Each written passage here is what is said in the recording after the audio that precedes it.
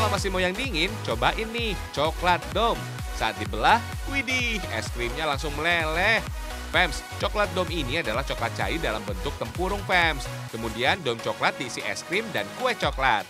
Coklat dom juga bakal meleleh Fems saat disiram coklat cair panas. Menu ini nggak cuma enak, tapi menarik Fems. Makanya, hidangan ini menjadi favorit di salah satu kafe di Kecamatan Tegal Barat, Kota Tegal. Di sini juga ada sajian kopi yang berbeda Fems, karena dicampur dengan buah lemon. Mantap! Kopi lemon ini sengaja ditujukan untuk kaum wanita yang nggak suka dengan rasa pahit kopi. Perpaduan kopi dan buah lemon membuat cita rasa kopi semakin segar, bikin fresh. Hahaha. Fems, semua bahan udah siap nih. Masukin isian kue coklat, es krim, dan coklat domnya. Kasih yang banyak ya, sampai menutupi es krim dan kue coklat.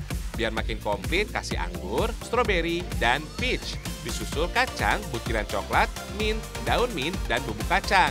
Wah, cantik banget, Fems. Sekarang kita lihat proses penyajian kopi lemon. Fems, biji kopi yang dipakai adalah jenis Arabica atau Robusta. Kalian bisa pilih sesuai selera aja ya.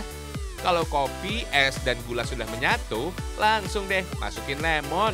Penambahan lemon pada minuman bisa meningkatkan cita rasa khas minuman ini, Fems. Manfaatnya juga banyak. Lemon bisa menghindari dehidrasi tubuh, meremajakan kulit, membantu sistem pencernaan tubuh, dan menurunkan berat badan. Ajaib nggak tuh khasiatnya?